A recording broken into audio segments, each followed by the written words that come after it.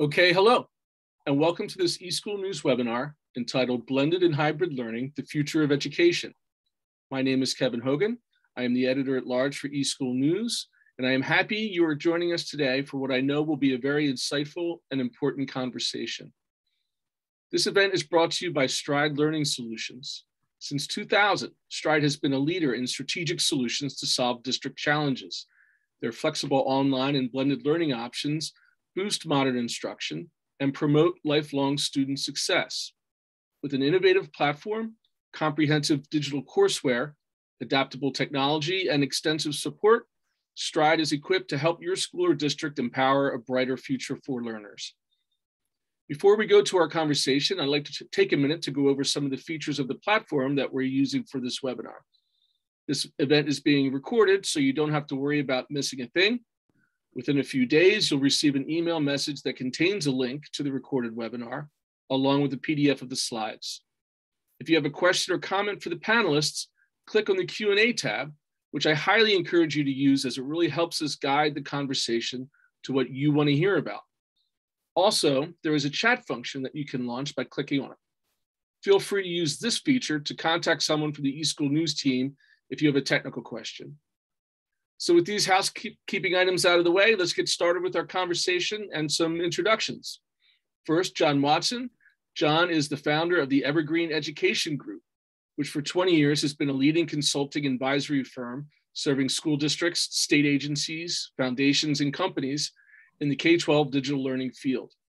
John has led Evergreen's creation of both the Digital Learning Annual Conference and the Digital Learning Collaborative, as well as planning and implementing the Resilient Schools Project, which, uh, which helped districts respond to COVID-19 related instructional challenges. John writes regularly about various issues related to digital learning and is a contributing author of the Handbook of Research on K-12 online and blended learning. And next we have Rachel Goodwin. Rachel is the Senior Director of Academic Services at Stride Learning Solutions. Rachel has been part of the Stride family in a variety of roles since 2007. She was a classroom teacher and administrator in the brick and mortar setting in Chicago for over nine years. Based on her instructional and technological experience, she worked for the next nine years at the first hybrid school in Chicago, developing their special programs department, which included special education, ELL, MTSS, and Title I programming. Rachel, I think you got all the education acronyms in on, on that on that position. In 2015, Rachel stepped into her role at Stride, where she supports schools with teacher development and training and program implementation of various blended models to ensure high academic results. So John and Rachel, thank you so much for taking uh, the time today to share your insights. I appreciate it. Thank you. Thanks for having me on, Kevin. Well, I think I, first we we might as well get started with it. As I mentioned, I'm I'm really tired of talking about it, but uh, it's still with us to a certain degree. But uh, really, this topic uh, is probably no other. It's the most popular one to talk about here in, in the time of COVID, right? I mean, it was two years ago, almost to the week, uh, where I know that school districts uh, had shut down. They had sent their laptops if they had them home with students uh, over spring break. Fingers crossed, with the the hope that you know in a couple weeks we get back and everybody could come back and, and we'll get back to normal. But it was right around this time, I think, where uh, people started to realize that this is going to be something that was going to be with us for for much longer, and the conceptual ideas of remote learning uh, and blended learning, uh, topics that I know at, at conferences like DLAC and, and ISTE were always kind of out there in the ether, but um, all of a sudden it turned into the world's greatest beta test, right? John, maybe you could start us off talking about your realization when um, you know, these ideas and concepts that you've obviously uh, been dealing with for years really met the, uh, the test that I, I'm assuming you never thought would have to meet. uh, so a couple of things, Kevin. First of all, uh, the, the pandemic got very real for me when uh, the Colorado governor shut down the ski hills in Colorado. You, you, know, you know when that's happening, that, that, that's, that, that's serious. Uh, the, the, other thing is, over the years, I've said a lot of things that turned out to be very wrong. Uh, but, but I actually gave an interview around that time uh, in, in which I said, it appears that we may be about to embark on the biggest unplanned experiment maybe in education history. And that one has uh, aged fairly well. Uh, you were spot on with that. yeah, well, and, and that's what happened. That, that's what happened. You know, it was it was very interesting to me though because in, in that interview, I remember the interview, and this is a this was a national uh, outlet, so it, uh, it, it was somebody who you would think would know. And, and the, one of the questions they put to me was, "Do the schools have the tools to to connect? You know do, do, it wasn't even that. Let me let me rephrase that. It was do this do the tools exist? And it was so telling to me that in at that point the year 2020 i was getting an, a, a question of is this even possible with, with no realization that hundreds of thousands of students were accessing full-time online education millions of students pre-pandemic were uh, taking online courses and, so, what we've seen over the last couple of years on the positive side, I would say, is an increasing realization that yes, online and hybrid learning can happen. They can be done well. Uh, unfortunately, we've also certainly seen some of the negative sides uh, when it hasn't been uh, implemented well. And then that conflation of emergency remote learning and well planned, well implemented online and hybrid learning. And, and I think that's been an, an issue for our field over the last couple of years. Yeah. Now, Rachel, you you've been involved with this before it was cool, uh, going back uh, several years, and, and, quite an innovator in terms of the use of these technologies. Uh, I'll assume you never anticipated uh, a global pandemic being uh, one of the applications that you'd have to deal with. But talk about your experiences at that point where it really seemed like you know this is the moment. um, when we were working more than four hour, 40 hours a week, right? Because we had a lot of uh, districts to support. I mean, mostly, I think a lot of uh, districts and even teachers, administrators and teachers were concerned. They're like, oh my gosh, I have to learn all these new skills. I have to apply them in this new environment. I have to forget about what I did that was good, right? That was effective in the classroom. And so it was interesting when having those conversations in, in, the training or even in the planning stages was letting them know like what worked well how did you connect with your students right what are some things that you did when you were when you have a new program and you had to onboard them you know onboard the, the different stakeholders to communicate with them let's talk about what worked with your community of learners and how do we then transfer that over into that virtual environment um, so it was interesting for them to say, oh, wait, this does, you know, I, I don't have to lose everything. I don't have to throw everything out you know to the garbage. I can actually take some of those and build on. And i told them this is really great because now you are building your toolbox. And some of the things that you're actually doing virtually there might if you go back into the classroom you could actually transfer that because it, you found it to be effective back into the classroom. So having them you know coming to that realization that this is yes it might be different. Yes there might be tools you're not you know you have to learn um, and skills you have to develop but that doesn't mean you're starting from the beginning right? You're not a freshman in in the whole um, the whole transition. So you know it again like i said it was at that moment um, there was just a lot of apprehension, anxiety. So we had to work through that uh, for them to embrace like this is something that's, you know, we have to embrace it. We need to think about what we need to do that's good for our kids um, and get them engaged and, and, and know that the love of learning doesn't stop just because the medium or the platform that we deliver it changes. Yeah, and it seems to me that one of the um, you know of, a million disruptions uh, and maybe some silver lines coming out of it. To, to your point, Rachel, is the idea of professional development. I mean, I've written about implementing technologies in the schools for, for a long time. Up until the past couple years, we would still have articles that were trying to make the argument for the use of the technology, uh, where, you had a, a lot of faculty and some administration that were still resistant for the use of them. Now they had to use it whether they liked it or not. Uh, but it seems, it, for the most part, that we've kind of conquered at least a base level of the the acceptance of technology and the communication from a remote uh, or at least a hybrid setting, right? Talk a little bit about what you see in terms of the general um, acceptance of these technologies versus maybe five years ago, Rachel.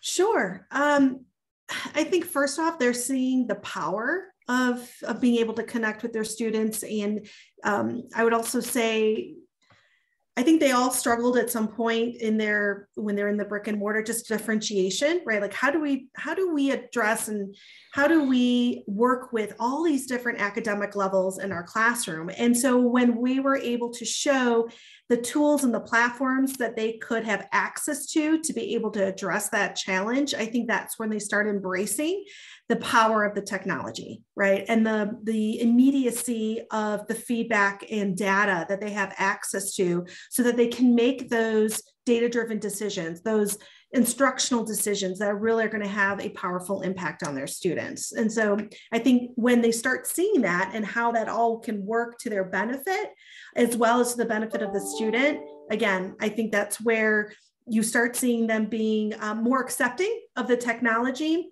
and wanting to learn how they can actually incorporate that in their you know in their delivery of instruction. Yeah. John does that resonate no no doubt. And and i want to go back to something else that rachel said in her earlier answer. She she started with the ideas around communication and, and engagement with students. And i and i think first of all that's that's so powerful in our current context in, in any context.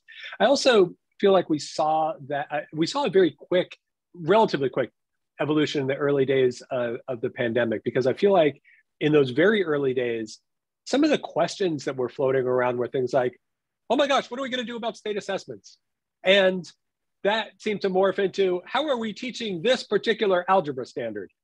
And pretty quickly, and to the credit of the mainstream educators who had to figure this out, I think they realized they needed to communicate with students, they needed to engage with students as well. And it's something that the experienced online educators had known for years, but I also think it's a valuable reminder. This the starting point is that communication. The starting point is that engagement. The, the way a good teacher in a physical school may stand at the door of her classroom as students are coming in. You know, you, you don't start by saying, by, by jumping necessarily into that very detailed standard. You start by, hey, how, how, are you doing? How was your weekend? How, how was how was the game? How was the dance? How was the how, how was the performance? And then you get into the academic standards. And, and it was something that uh, I, I, think we, we had to address very early on in the pandemic. And I, and I think that did happen and successfully. And I think it was, I, I think a lot of the mainstream uh, schools should be commended for the fact that, that they saw that and were able to do that. I'm glad Absolutely. you brought that up I'm so sorry. I just, I mean, it just no. triggered something in me when John said that. And that's something, you know, I used to tell when I was talking to teachers, I'm like, you need to minimize that relationship divide just because yeah. you're not right in front of them, right? That doesn't mean that all of a sudden there should be a gap of you connecting and creating that culture and the connectiveness um, with, you know, with all stakeholders, with the parents and, you know, with the students, because that connectiveness, you know, really promotes that positivityness as well as the perseverance. So when challenges to come up and you have that connection with those, with your teacher, with your guidance counselor, with whoever, I feel like then the students, when they were in that remote environment, if they had a very positive connection, were able to go through those challenges and many times build new skills that only benefited them in the work, you know, as they grow older and go into the workforce or go into college and so forth. Yeah, I was going to say, I mean, there, there's almost a, an odd intimacy that's created, you know, using this platform that we're using right now. Uh, at that time, as a parent, where I spoke more to my kids' teachers uh, in 18 months than I had in 18 years. I mean, we'd have one-to-one Zoom calls. You know, I mean, this is beyond the instruction, but just we also talked about the idea of social emotional learning came to the forefront because, mm-hmm. as you said, John, those those first few weeks, people are like state standards. We just want to make sure everybody's okay, right? And you just want to make sure that people are safe. And um, that whole idea of SEL kind of came to the forefront. Another one of those education concepts uh, that became a, a stark reality.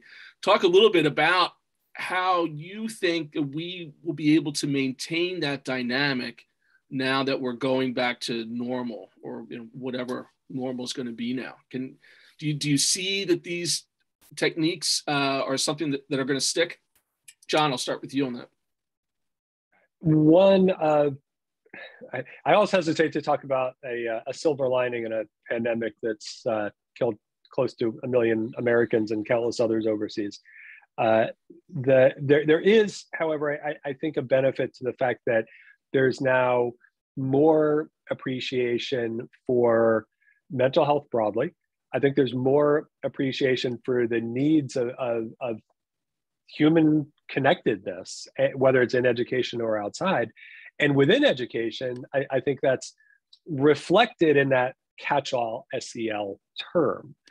The, the thing that's interesting to me about SEL is when when you dig into it, especially if you're relatively new to it, and, and I was not too long ago, right?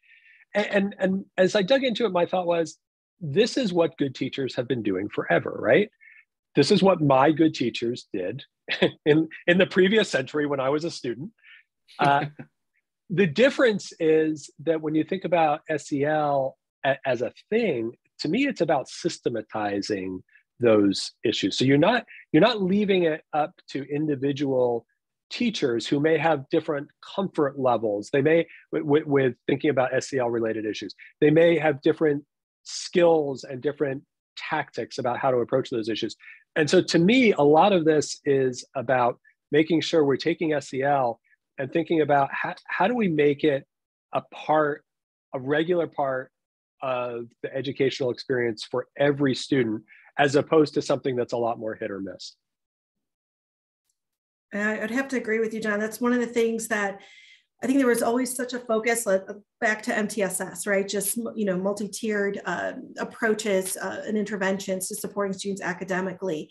And as you know, more schools were going, were in this in the pandemic and having to come up with uh, you know remote learning and blended learning, we started having more discussions on MTSS-E, which is MTSS engagement, right? What are the intervent? What are some of those triggers? What are some things that we need to be looking for? Um, what are some of those uh, strategies or skills we need to develop in our students, right? Um, to be able to manage through those challenging times. And where do they get resources, even within their community, um, within the school community, outside their school community, and then looking at those interventions and strategies with the teacher. So almost formalizing, right, a process on how we address these things, but also what are the triggers, what are the behaviors we're, you know, that we're seeing, what are the resources and supports to be able to address those things, um, and then just taking a little closer look. Um, so like, for example, with one school I worked with, they were doing a great job of tracking actually, you know, how many times, let's say, a student might have you know miss uh, looking at absences for instance right? They were tracking absences so those that are not uh, engaging you know in the synchronous sessions um, even if it was a connect call how many of those were missed? And looking all of that those data to be able to really those are just obviously you know just data points but then using that data points to ask some more qualitative questions to the student or to the families to then understand what the narrative is, right? Because they might not be able to do anything to academically because of maybe some social emotional issues going on or challenges so how do we how do we address that so that we can get to the academics and to the learning um, so i just thought that was really interesting how we've shifted with in this you know environment that it was just mtss academics to now how do we take that approach when we're looking at engagement and supporting students you know emotionally and socially? Yeah. and to your point uh, sorry kevin is okay if i if i follow up on? Absolutely please. Rachel and i are going to have a discussion here if that's okay. I'll be right i'll be back about uh, 250 no please. So, so, rachel as you were talking I, I was thinking about the fact that a lot of students especially when you think about some of the uh, social and emotional issues a lot of students are more comfortable in a digital environment having these discussions. And it's not hard to to imagine those situations uh, where a student it, it, may be more comfortable sharing maybe because it feels more one-on-one or maybe just because students are, are are very comfortable in the online environment. Uh, quick story out of post-secondary. My wife's a professor uh, and uh, she started teaching her first online course. It was pre-pandemic. It was about five years ago, and in her, uh, and and like a, a, lot of professors and teachers, she was skeptical at first. And I still remember she, she ran her first online course, and she and uh, we were talking about it, and she said, I, am gonna I'm gonna have every student post a video about themselves. I, am just having them uh, just one to two, I said one to two minutes, nothing fancy, record it on on your phone or whatever. Tell me who you are a little bit about you and why you're taking this course. A week later, she came back to me and she said, I I'm totally blown away by what these students are telling me and their peers.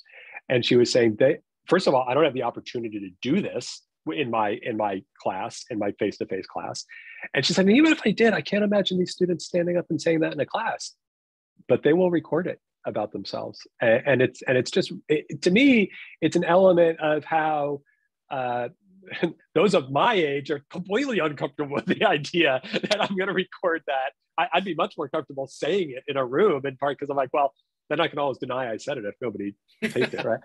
uh, uh, but uh, but then uh, the students are, are, very very comfortable in that medium. So this sticks. This this idea of almost like outside of the classroom, you have remote or hybrid dynamics that maybe aren't classroom instruction per se. Because I would say, as a parent, I watch both of my sons with their hoodies in bed with 25 other people on the Zoom and one teacher. I don't think that that is a particular innovation that, that will stick going forward. But having conversations with counselors, having conversations with teachers, um, uh, parents having conversations and uh, with with teachers, and even the, t- the two back to school nights were pretty good via Zoom versus in person. Um, you both will say that this is something you, you think should and will stick. Definitely. Yes, and I also want to allude to Kevin what you just mentioned about the idea of, of your kids there in a room with 25 other students and and presumably a, maybe a teacher lecturing. The, and Rachel mentioned this earlier. You know, there were aspects, especially uh, in the in the early days of emergence remote learning, and and honestly, I think sometimes they extended uh, too long, where where what what mainstream schools were trying to do was take a classroom environment and turn it into a Zoom environment, and and and that's that's not best practice. Uh, mm-hmm. arguably, it's not even good practice. And now, I, I understand why they're doing it. it. it. was hard to do otherwise. It took a lot of it took a lot of uh, uh, professional learning for teachers. It took a lot of support. It was hard to do uh, on short notice. Uh, but I, w- we know that there's we the collective field understands that there's better ways to reach students in much more engaging ways than trying to replicate uh, a lecture and, and having students just listening to a teacher for four or five hours a day. Yeah. Yeah. Sure. So when you um, when you take a look at the models that have kind of emerged from this, or at least from from my perspective in, in my conversations, uh, it seems that the division between what remote is and what hybrid is is on the idea that districts will now provide a virtual academy for students who, John, as you said, who, who, seem to perform better in this environment, whether it's because of, of learning differences or other, otherwise. Um, from both of your experiences, and Rachel, I'll start with you on this one. So as, as you look around school districts for the past two years. Do you see an emphasis on that virtual academy model versus uh, a hybrid model? And maybe talk about what does hybrid even mean now um, after this transition over the past few years? Sure. What I've seen, um, I've seen a lot more, you're correct. When you look at the continuum, right, of because of how you define blended, what exactly everyone kind of has their own connotation for that. But if you look at the continuum, to fully virtual to in class use of incorporating technology, for instance, which one would call blended. So I'm seeing more of the virtual, um, but then also just more in being a little innovative with the hybrid. So you have some individual or some districts that went fully virtual, but they want to incorporate uh, learning center, so to speak, right? An opportunity for students, if they want to, be able to come into a physical building and be able to connect with their stu- you know, with their peers or be part of clubs and activities. They want to not for it to be virtual. So offering that learning center or that physical space where they're able to come together um, and be able to participate in those type of activities. So I'm seeing more of those two particular models.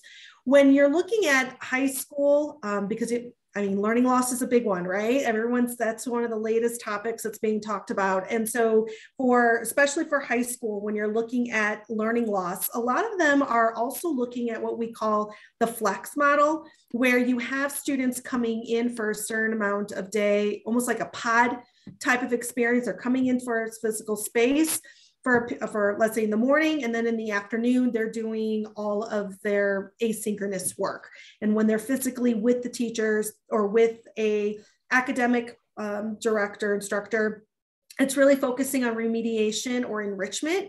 So the course work so to speak is done more asynchronously and more of that individual uh, support is happening in that physical building um, and also I'm seeing a lot of like the passport model where students are coming, um, again, they're working virtually for a majority of the time, but then having that center time where they're working with certified teachers with the focus of career counseling and career readiness, mentoring, social services, tutoring, and those type of those type of services happening within that physical space.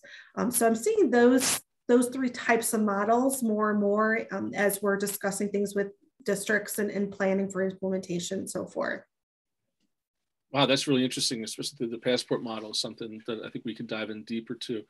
Uh, John, how about with you, your experiences of the, the idea of the virtual academy versus other models like the passport model that, that Rachel suggested?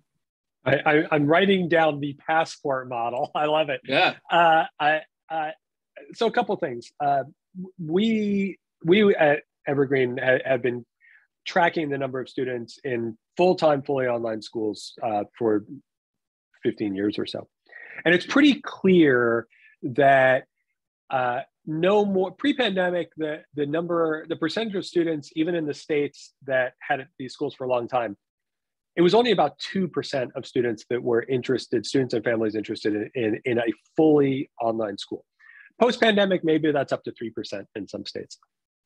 Point being, a lot of students want some a- access to some physical space, exactly like Rachel is talking about that, that learning center and for all the reasons that she's talking about. So, what we're seeing is now we're tracking the number of districts that are starting what they may be calling an online school or virtual academy. Most of these are for their own students, and most of them do actually have a learning center and I'm comfortable in predicting that those that don't have a learning center right now or a physical space, if they're still around in three years, they will. The vast majority, at least, because the the benefit to having some time with face to face is is really valuable. Now that may be very very limited. They may be doing the large majority of their work online, separated uh, at a distance from teachers and other students, but having that ability to meet face to face from time to time, at least for some students, I think is it's a much more scalable model. It's going to be of interest to a, a much larger percentage of students and families.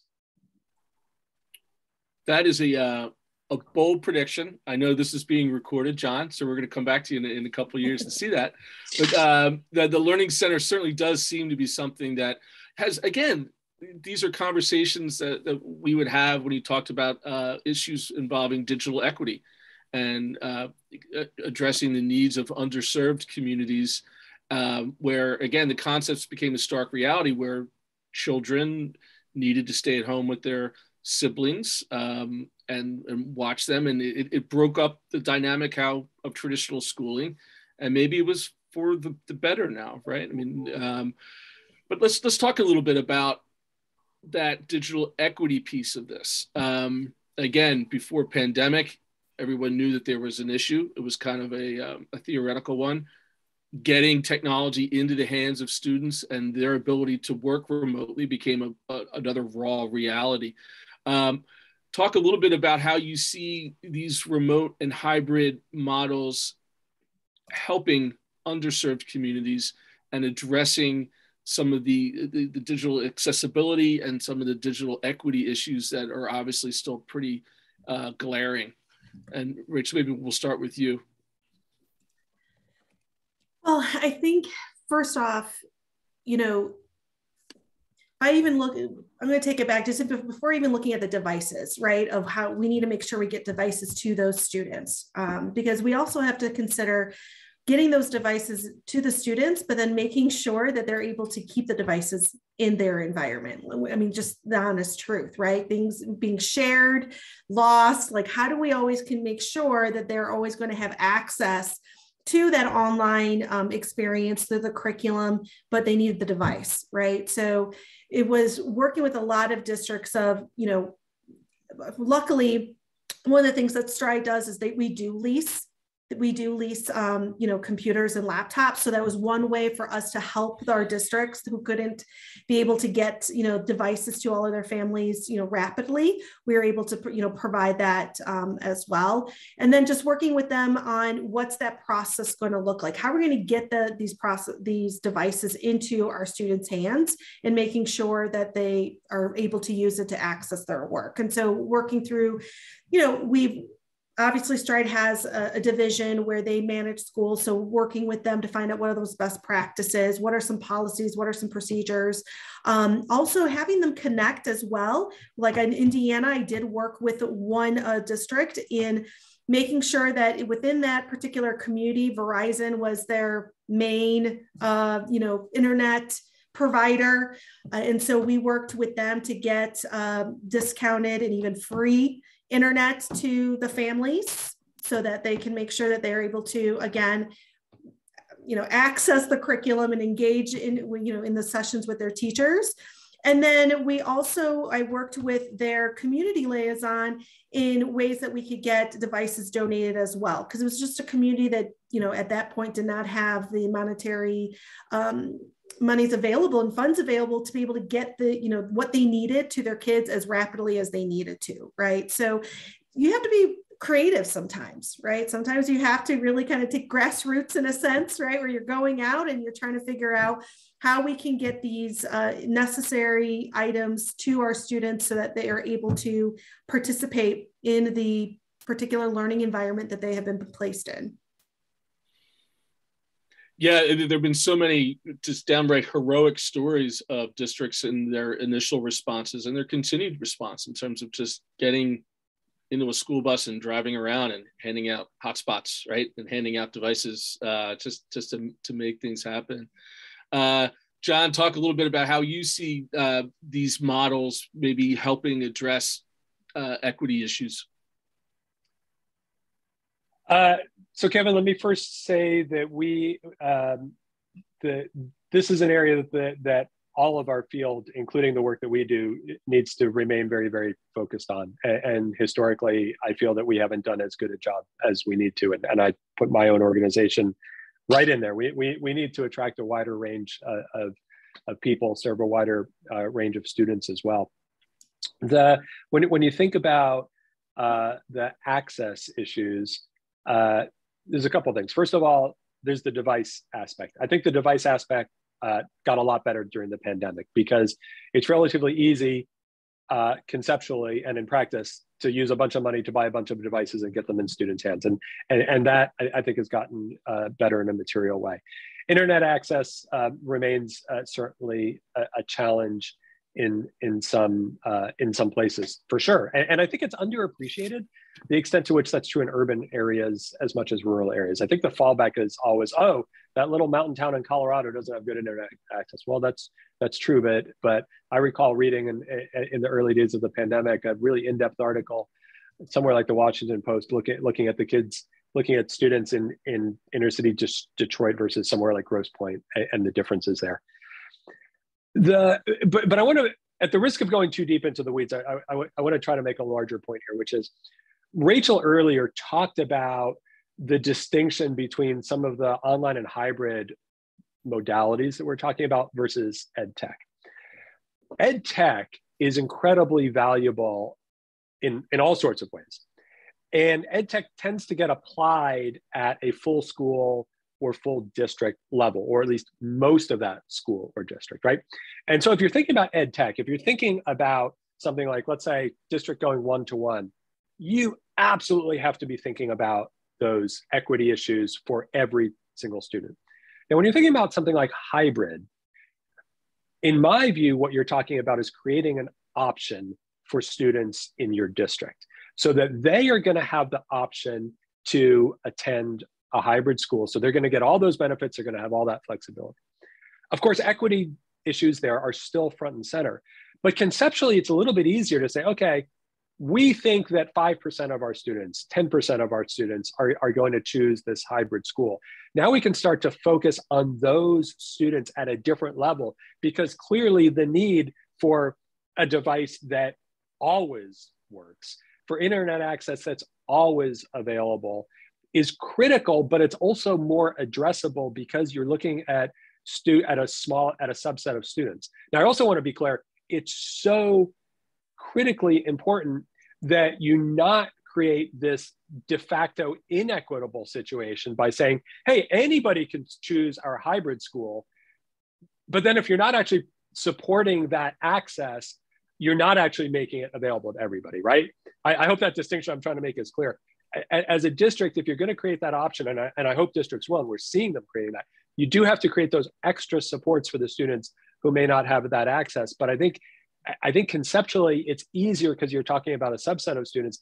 And I do think that it's really important to think about hybrid and online as options that should be available to all students as opposed to something that all students must or should be taking part in. So let's let's stay in the weeds a little bit here and and talk about some of the particulars. So you know, if you are a um, a curriculum director in a district, or and you, maybe you're sitting next to your technology director in a district, and, and you're watching the show, what are some tips you would have for them to manage different instructional instructional needs of students um, using these techniques? I mean, can you point to some particular maybe kind of day-to-day examples of of making the switch or, or incorporating these techniques i'll rachel i'll put you in the hot seat first on that one I need a moment here. I don't know if John I, I love how I raise. I love Rachel. I'm loving this. I raise the hard issues, and then Kevin's trying to be fair, so he brings you in, but you get the hard questions.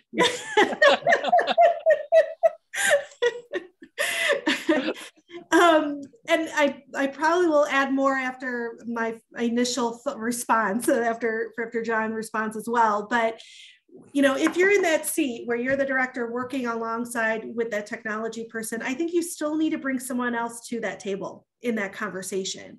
And that conversation is, you know, in some cases it might be uh, you know someone from the, the parent organization right the parent uh, liaison having them be part of that conversation um, you know, or it might be going to your guidance counselor. I think you need more than just those two individuals to talk about what do we need to do for students to make sure we're equitable? Because those folks are going to come in with a different perspective or maybe different experiences that's going to help um, identify where the challenges are where the gaps are maybe in resources and then coming up with a plan on how to address those. That's my initial response um, I know more will probably come up as, as John talks, but that's that's just something I think it, I really hold dear. Sometimes we need to really think who's at the table having these conversations as we're coming to a plan on how to address these issues. Yeah, I mean that points to yet another disruption that maybe some good will come out of it, which is the inclusion of the wider community. When you have parents suddenly became teaching assistants, right, uh, mm-hmm. two years ago, uh, and have a much more in-depth uh, experience of what their children are experiencing uh, not only remotely but now going back in. John talk a little bit about that in terms of the, the, the community aspect that rachel was pointing to is some of the first steps to what you have to do is create a new culture right? The, the cultural aspects are, are key. And, and i think th- this discussion goes back to a, a point that uh, that rachel was was making again about that distinction between what are you trying to do as a district that's going to touch all of your students versus what are you trying to do that's creating options for the students and family who choose those things? So back to your earlier question. If if if i'm part of a cabinet level discussion. And let me preface this by saying, look, there's what 13,000 districts in the country. You, you, you, can't you can't say, look, this is what's happening and it applies to everybody. But let's let's just let's let's simplify. We're talking. Let, us say we're talking about a a 50 to 75,000 student district, and you're talking and you're having a, a cabinet level discussion in that district. The way I would be framing that discussion is there's two paths around this discussion. One path is what new options are we creating so that every student feels like there's a school for them in our district? And what that says to me is we're, of course, going to have our mainstream traditional schools where extracurriculars and sports and, and, and music and all those things are, are really important. We're going through a traditional bell schedule, all those things. That's serving a lot of students really, really well. In those schools, we want to think about how do we use technology as and Rachel referred to this earlier around things like data driven instruction. What can we be adding so that teachers in that school are able to differentiate instruction to make sure that every student in those classes uh, is able to, to feel like the instruction is reaching them, right? The second piece is how do we create a set of one or more schools that are speaking to the needs of the students who don't feel well served and the families who are looking for something different. And to me, that is the that, that's where online and hybrid come in because now you're serving the students high school students who may want to be in an early college program they're pursuing an internship or a job that doesn't allow them to easily be in a school from 8 to 3 every day they're pursuing something like dance or arts or sports or something at a level that that they're putting more time into such that again that that traditional schedule is difficult.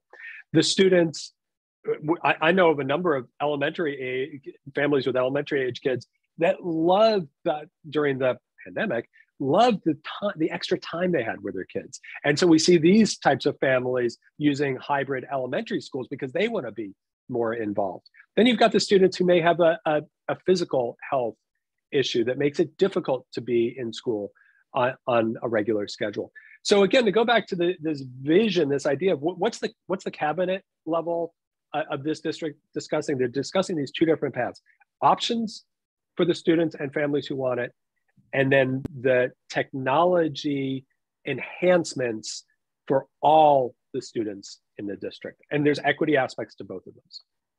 And one thing I want to add, John, too, to John's statement is when you're at the cabinet level and you're looking at all these different options, and especially when you're looking at virtual or blended or hybrid type of approach, to have a flexible mindset right? To be able to see what is working you know, what are what are the what intentionally what are the competencies right? What are the out, outcomes you're trying to first of all competencies you're trying to develop outcomes that you're trying to measure and then that way will allow us to really reflect critically on what's working and being able to re- replicate that or tweak you know depending on the community that we're serving.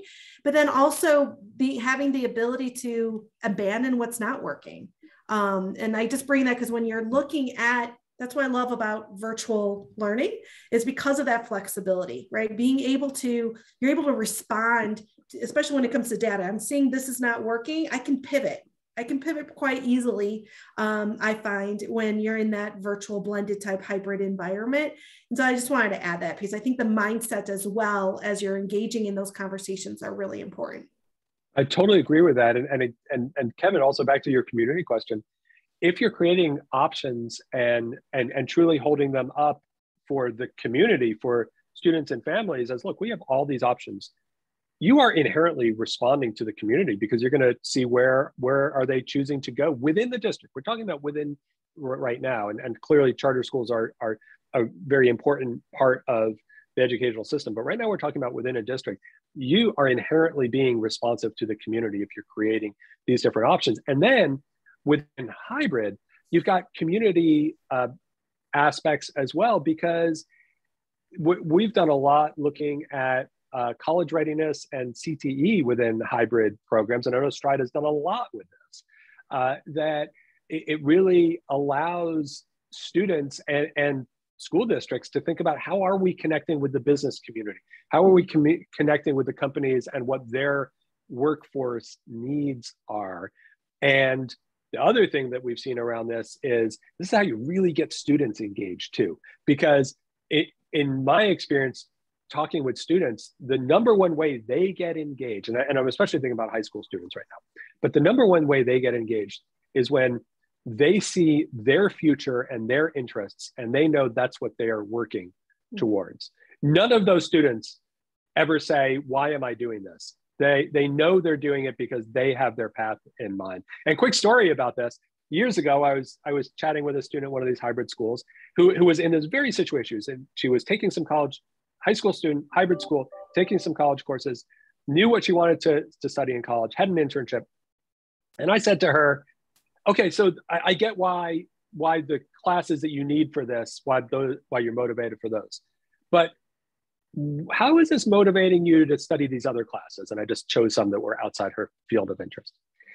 And she looked at me like I may have been the dullest person on the planet because she's like, I need them to graduate. And it, nobody needed to tell that student, hey, you got to study this in order to graduate. She knew it because she's engaged. She's she's got her future dialed in and nobody needs to tell her that you need to study these other things. She knew that because she knew what she needed to do to, to take the next step. Yeah. So what I'm gleaning from this conversation when we go back and we talk about remote models and, and hybrid models, there's not going to be a, a piece of technology, a piece of software or a particular platform to implement these things. It's more of implementing a mindset of how to use maybe some of the technologies you might already have um, in continuing ways in which which you had to do during the pandemic, but now have the opportunity to kind of implement. So it's almost kind of like a a supplement to, to things that you already have. Does that make sense, Rachel? or, or does it not make sense? um, yes and no i mean i think you know even though when you're going to incorporate to any type of technology in your instructional planning or as resources for your teachers you still have to be evaluating looking at it with a critical eye as well right because not every technology is going to meet all the needs of the students right so you have to understand what are the needs of, of your teachers and of your students to determine what's the right technology for my community of learners? Um, you know you can't it's just like you know not everyone's going to be driving a huge truck right? It's not going to if you live work or live in the city or like new york and you have very limited parking you're not going to buy a truck right? I know that's a very simple analogy but what i'm trying to say is that you have to really look and be critical on what is it that you know having a rubric knowing what your what your student experience is what's your academic outcomes that you need um, what is it that the level of you know of support that that particular technology is going to be able to provide even the training piece for your teachers? Those are all different pieces when you're trying to identify who's the what's the right product or the right technology to incorporate into the instructional you know program or plan. Because the worst thing you can do is in incorporate something and it's not being used at all right? Number one. Or number two you use it and then because you didn't take the time to to evaluate um, it and also have conversations like this with folks that are using it then um, you don't want to start something train the teachers and then put something else in their hands to do because that just causes confusion it also causes teachers to just say you know what? I'm just going to go back to some old ways of doing things, right? Because I'm constantly getting something new in my hands to be able to work with my students. And it's not really, it's it's being more of a hindrance and a challenge to be able to meet where I need to or my goals that I'm trying to achieve with my kids than if you have the right technology and the right tools um, to support your kids. I love what Rachel just said, and I'm going to build on the truck analogy. And I just thought of this, so I hope I can explain this in a way that makes sense. I'm not a car guy. I'm not a truck guy. I don't really care about my vehicle, except I live in Colorado and I care about where I can get. And where do I want to get? I want to get to some remote trailheads to hike in those places. And so we have a pretty beefy four wheel drive truck.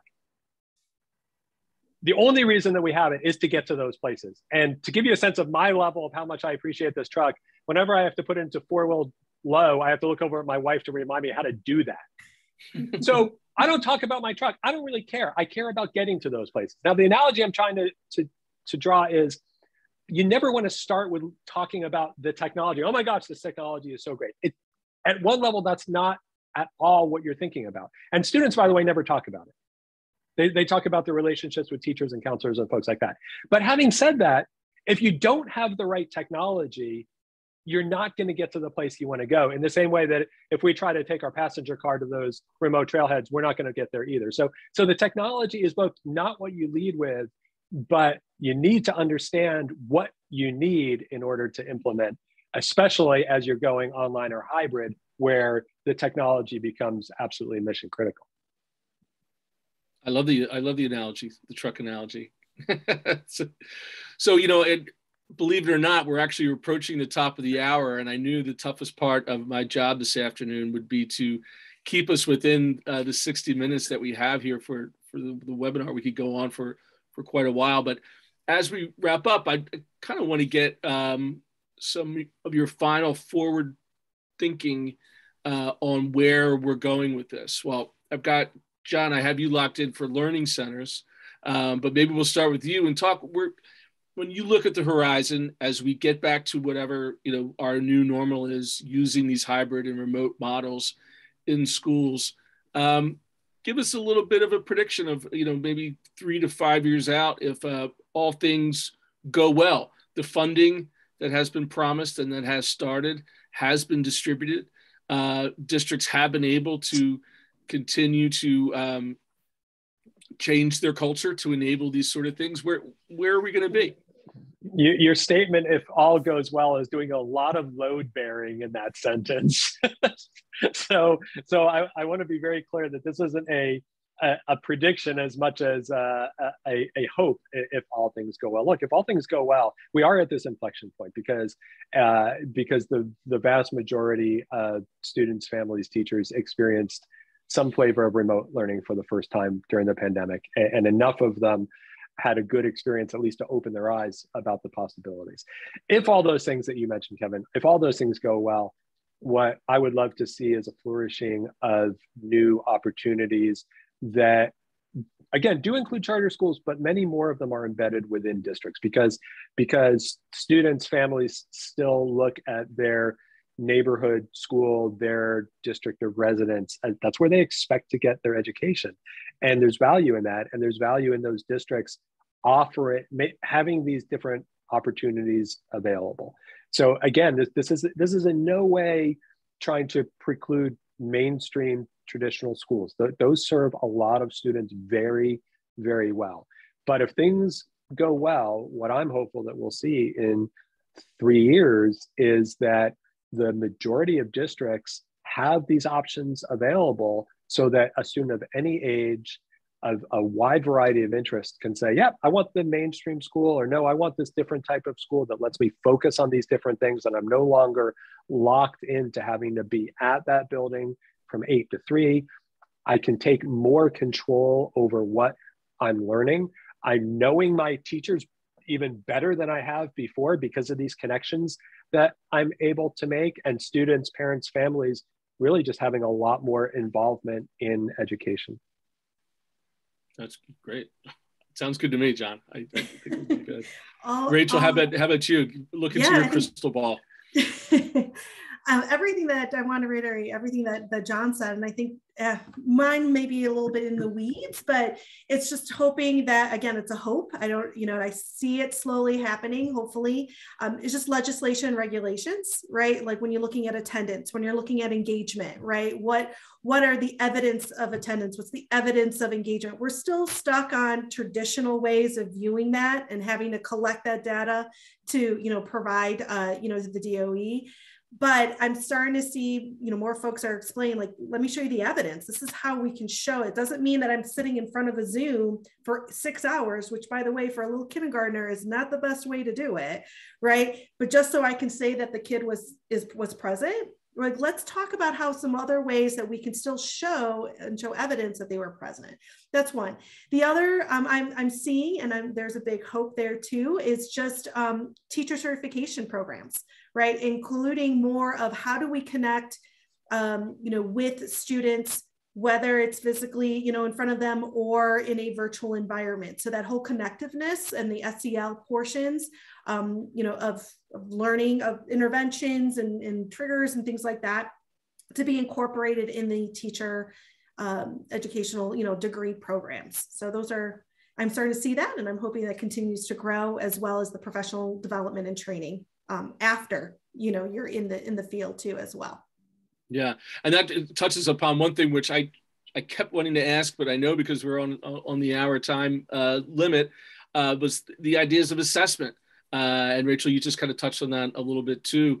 Um, we have a couple more minutes. I'll, I'll, let me just put you on the hot seat for for one more in terms of where you see that assess those assessment techniques uh, being applied going forward into the future? I mean, are we talking, can we use remote and hybrid learning platforms to finally have digital portfolios? Can we have synchronous, uh, you know, almost like the master's theses interviews of high school students? Talk a little bit about what your hope when it comes to assessment. I well, just even PBL, right? A PBL approach, project-based type of learning, where you're you're creating things and um, and and also involving the community, right? Where the where it's actually experts that are grading your work, not necessarily the the teacher, right? Um, yeah. That's another. That's one example, right? Uh, also, does it have to be you know paper and pencil in the sense are you submitting always just a document? There's other ways that you can demonstrate your level of knowledge or mastery of standards which i think now we're having there are tools out there that are allowing us to be able to for students to be able to produce that right? Um, and i think there's going to be i think there's more of a development of performance based you know type of evidence for students and, and the appropriate rubrics that we can use to evaluate you know the the, the level of mastery. So i do see that evolving. Um, the other piece is adaptiveness right? I'm seeing more the the ability of being able to assess a student but having it be adaptive. So we really have a clear understanding if you know if the student is not achieving that level of mastery for that grade level where are they right now? So that we can use that information to develop their learning path or their learning plan. Excellent. And john believe you uh, with the last word on on assessment.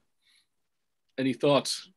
My first last word is I need Rachel as a lightning rod on all my webinars because she she attracts all the tough questions first, and I get to think about them. Uh, the the way and I and I love Rachel's answer, and it gave me some time to think about this. So here's the way I, I think about it. Um, when when we think about high school graduates, we're why are we not at a point as as a society and as a system that instead of measuring graduation rates we're thinking about where did these students go? How many where what jobs are they going into? Uh, you know obviously without getting into uh, private uh, information what jobs are they getting into? Uh, jobs military college what are their salaries? What what institutions are they going into? Uh, there, there's no reason that we can't have good snapshots around all of this you know a lot of a lot of districts talk about the portrait of the graduate right? And i think that's great but i also think that th- there can be more done around what do we actually know about these students? Again i know there's privacy concerns. I also know everybody's uh, just about everybody's posting on facebook and all these other places you know they're, they're giving up all this information all the time. So i'm hopeful that we can get past some of some of these concerns and and start to have a better sense for what's actually happening with our high school graduates. And then in, these real world examples and data points, and then you can work back and say, okay, so what does that high school sophomore need to be doing to be on that path? What does the middle school student need to be doing on that path? What does the elementary student need to be doing to be on that path? And that I think leads us towards success for each and every student. Fantastic stuff. Well, I'd like to once again thank our presenters today for a very informative presentation. I'd like to thank all the audience members who were, were out there and, and listening as well. I mean, I think we pulled out, I know I have a number of, of different uh, points here that I want to follow up with uh, for another webinar going forward on, on this topic. It's certainly something that is, is hugely important for all of us uh, to, to follow. As a reminder, you'll get an email within the next few days that contains a link to this recording along with the slides. Thanks again for participating and have a great day. Thanks, Thank John. You. Thanks, Rachel. Thank you. Thank you.